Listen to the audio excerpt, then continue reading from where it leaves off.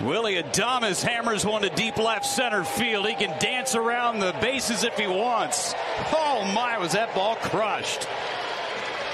4 nothing Brewers on the 12th home run of the year for Willie.